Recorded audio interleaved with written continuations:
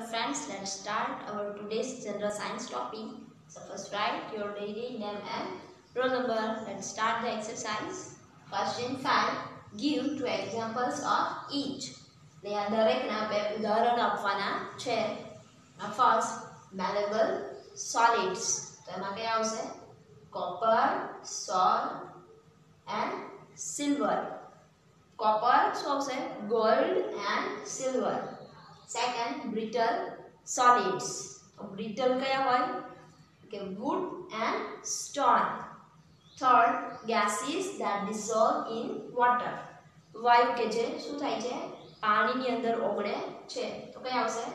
Oxygen and carbon dioxide fourth liquids that do not mix in each other. એટલે પ્રવાહી કે જે એકબીજાની અંદર ભળતા નથી. તો કઈ આવશે? Oil and kerosene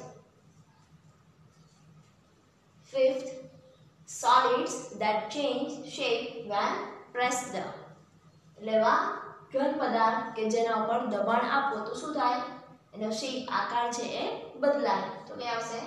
clay and cotton બોલ માટી અને રૂ.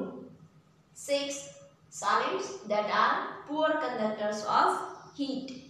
એટલે એવા ઘન પદાર્થ કે જે ઉષ્માનું બહુ જ કેવા છે? પુઅર વાહક છે, એટલે કે એમાંથી ઉષ્મા છે, એ વહન પામી શકતી નથી. તો શું આવશે? Wood and plastic seven materials that are not inflammable એટલે એવા પદાર્થો કે જે સળગી શકતા નથી. તો શું આવશે? સ્ટોન એન્ડ સેન્ડ સેન્ડ એટલે રેતી. Eight that are soluble in water એટલે એવા ઘન પદાર્થ કે જે પાણીની અંદર ઓગળે છે. તો શું આવશે? સોલ્ટ એન્ડ સુગર મીઠું અને ખાંડ. Question 6 given below are certain substances. એટલે અહીંયા નીચે આપણને થોડાક અમુક પદાર્થો આપેલા છે. Group them according to the liquids in which they dissolve એટલે અહીંયા જે પ્રવાહી આપણને આપ્યા છે, એમાંથી આપણે એનું વર્ગીકરણ કરવાનું છે કે ક્યાંની અંદર તે ઓગળશે.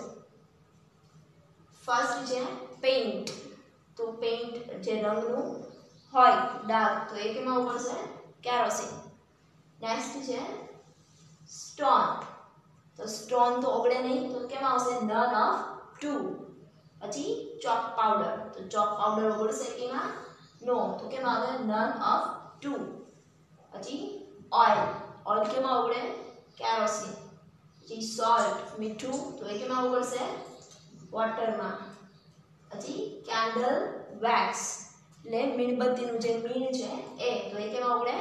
કેરોસીનમાં પછી પેન્સિલ શેવિંગ્સ એટલે પેન્સિલ છોડીએ ત્યારેનું જે હુક્કો છે એ તો એ કેમાં ઓગળશે none of two next milk દૂધ તો એ કેમાં ઓગળશે okay water next paper paper છે એ કેમાં ઓગળે કે નન ઓફ ટુ એ કેમાં ઓગળશે નહીં પછી મળ એટલે કાદવ તો એ કેમાં આવશે વોટર પછી નેલ પોલિશ તો એ કેમાં ઓગળે કેરોસીન નેક્સ્ટ છે હની અને મધ તો એ શેમાં આવડશે વોટર હવે સી ક્વેશ્ચન 7 ગીવ રીઝન્સ એ કારણો આપવાના છે.